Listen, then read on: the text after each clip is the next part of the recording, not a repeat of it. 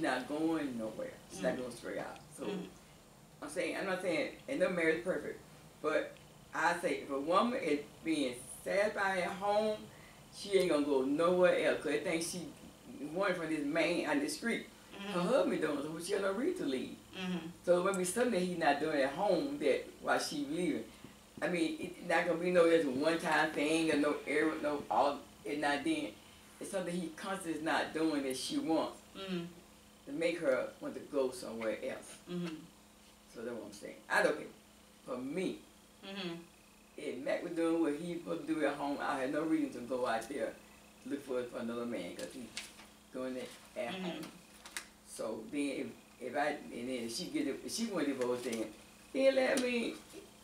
I said as a man to get divorced. If she get if she get divorced then okay Mhm. she got divorced but I'm not gonna leave because she get one but I'm gonna leave he get one because he is one in authority he the one is leading the flock so He should be fighting to keep their marriage together. He mean, shouldn't be trying to true. file a divorce. Yeah. Yeah, He you should know be what I'm fighting. saying though. So Mm-hmm. But some women done found Mr. I'm not saying that, I'm saying Bump up. I know I don't want saying, you no but more. if, if, if Mr. Home Home Home, That's how my ex-wife was. She was just basically, I don't want you no more. It's Well- never really wanted you, so you know. well, why she married you huh?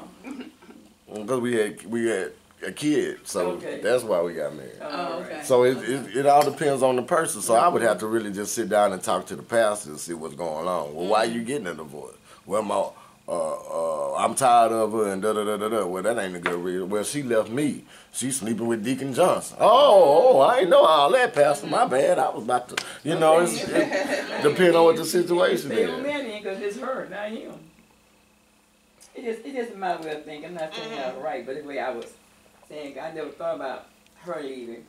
But I Mhm. still say, if, if he, if he, if he was doing, if he, if it was her and went, so I wasn't gonna stay there. And that's the way I feel about it. And I want, I told Mac, you can stay. I'm not staying. I'm, I'm gonna leave you right here in church. I'm going somewhere else. Mhm. I wasn't gonna stay there. That's the way I felt about it. Okay, well, he, he used, um, the planning as people being planted in the church. Mhm. Uh, can somebody read Psalms one, uh, verse three? Psalms one. Mm-hmm, Psalm one, look at tree planted by the rivers of water. such a person. Yeah, Psalms one, verse three. mm-hmm, Oh yeah, and she and he shall be like a tree planted by the rivers of water that bringeth forth his fruit in his season. mm-hmm, His leaf shall not wither, mm-hmm. and whatsoever he doeth shall prosper. Okay. So he was using that example about not leaving, by staying, that if you're planted, you know, like the plants that are being picked up and rooted, picked up and rooted. So I'm going from this church to that church, to this church to that church, looking for, looking for what? A perfect church, a perfect minister, and there ain't no ter- perfect churches, there's no perfect ministries. No. There's always something wrong with something. Mhm. So sometimes we just have to stay planted where we are. Just, I mean, it just depends on what the situation is. That's what I'm saying, it depends. hmm just stay planted where we are. Uh, Mark four, sixteen through seventeen, this might read it. Let's get there. Mark.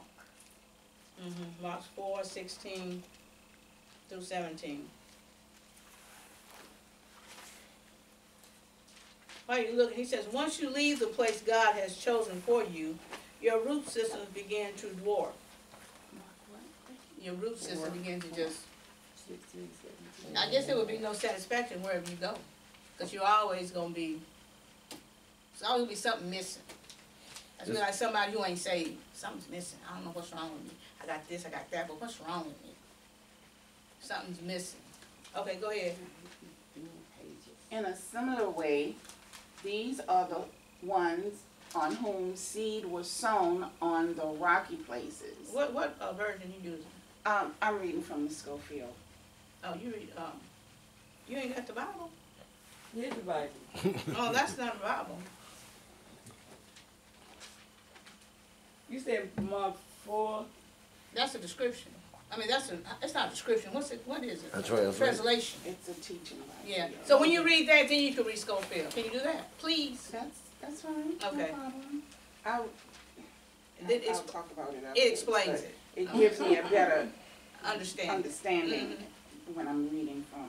Mm. Uh, four and sixteen, here we go, King James. Mhm. And these are they likewise which are sown on stony ground, who, when they have heard the word, immediately receive it with gladness, and have no root in themselves, and so endure but for a time. Afterward, when affliction or persecution ariseth for the word's sake, immediately they are offended. What y'all think about that? Oh, let Miss Yvette read her Scofield. Go ahead.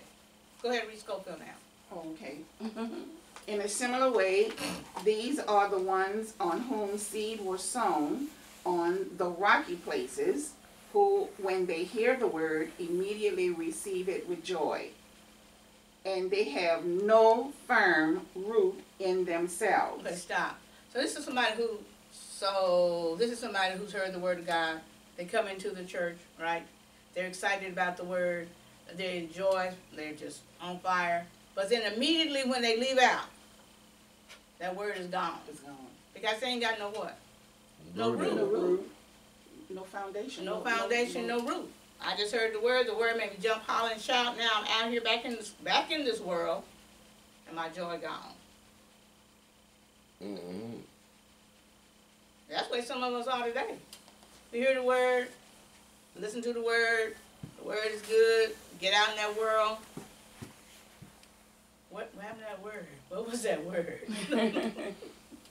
Go ahead, finish, Mr. Red. It didn't let it take It didn't stay. There wasn't no root to hook no on to. root to it, right. Mm-mm. uh, sown in rocky places when they receive word of need. And they no firm root in themselves, but are only temporary then. Mm. When affliction or persecution arises because of the word, immediately they fall away. Because of the word. That's sad. What y'all think about that? Because of the word they fall away. Mhm. It said, which afflictions or persecution arise for the word's sake, immediately they are offended. This, uh, I guess it's uh, King James. Mm-hmm. For the word's sake. So what you get Yeah, out of that, Elder? because of the word, they immediately offended because of the word.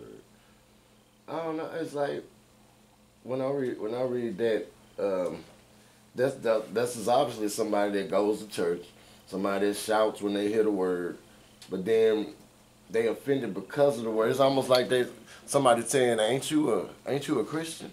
Uh-huh. Ain't you supposed to have long suffering? Ain't you supposed to do this?" Mhm. and they getting offended because it's like I've talked to people and I've been that person that got offended when you threw the word. It's like, it's almost like you're throwing the word in my face. Oh yeah, aren't you, aren't you a Christian? Are you ain't supposed to be doing that. Why? Aren't you a Christian? and it make you mad. Mhm. it make you mad I'm a at Christian, the but it didn't say I ain't have no uh, feelings or emotions. I can talk. I ain't got to scream and shout. But it's like it all go out the window. Like I can sit here and listen to the pastor say, Mm-hmm. you know, uh, um, don't worry about tomorrow. God gonna supply all your needs. And then He I walk out the door Mhm. and I'm like, oh Lord, what we gonna do about tomorrow? Like, yeah, mm-hmm. we got food for the day, but what about tomorrow? Mm-hmm. I'm I'm already worrying about tomorrow. Mm-hmm. When the pastor just said, don't worry about tomorrow. So it's like, yeah, this ain't it ain't take no root. I heard it, but it ain't take no root. Ain't no root, no root. You gotta be rooted and grounded in Christ. You got something to say, Mr. Yvette? You look like it. Well, I, I was, I'm still thinking the original question, what the, the lesson is about, and it's about God put me here. Mm-hmm. He planted me here. Mhm. This is where he want me to take root to get the foundation. Mm-hmm. And I'm uprooting myself. And that's what was going on here in Mark. And that's Mhm. that's what I'm thinking. Mhm. I'm still there Mm-hmm. to be it for teaching purposes or to help me grow and Mhm. see even though this person is doing all of this wrong Mm-hmm. i'm here for a reason because god put me here and i need to listen to the word and discern have the discernment for myself Mhm. and that way i'm going to be rooted in the word because i got it Mhm. and I and I received it, regardless of who it came from, because of what God did. He That's planted good. me there. That's good. That's really good. A lot of people do that. A lot of people stay because they they're, they're familiar with the pastor. They're familiar with the whole crowd. They don't want to go nowhere different. And some people, you know, uh, that's like Catholics. I'm not talking about. I'm not down in Catholic, but they they they stay. Even though the priest did this, the priest did that, they still stay because I was born. I was raised this way. That could be me. I was raised uh, Baptist. Me too. But then, when I got, the, it's not nothing wrong with the Baptist. I just, me and my uncle, he was a preacher. We used to always converse back and forth. He gonna tell me, nobody speaks in tongues, and we just kept going. I said, yes, I speak in tongues. How you gonna say that? Mm. That just, you know, like shut him down. And he said, you do, you know. So like, you know, at the Baptist church, we didn't speak in tongues. They might do it now, but when I was growing up, they didn't do it. Mm-mm. But now, you know, You got some Yeah. balance, mhm. so it's just, uh, yeah, uprooted and yeah, I've uprooted myself a lot of times. So yeah, that ain't good. Uproot and go here, you know, because I went to church called Cathedral Praise, and I went. We been out there going through a bunch of stuff, and then I went back like five or six years. They had something, and I was just so. I just thought about that. I was just so amazed that them people who had been there when I first went, they were still there.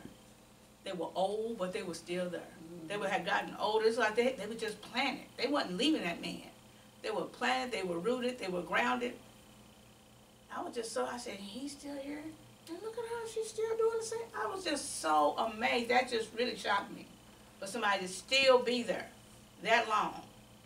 Yeah. But people do stay in places. That's the way Mac and I, well, he still is. Mm-hmm, If we in the church, mm-hmm, we stayed there. yeah, On time we left, well, when we, you know, we got transferred. Mhm. Some CF moved us, but, and we, we, we was in a church, we was in a church. Cause like, the, we, we was in a Baptist church one time, and the, and the preacher was hitting on me.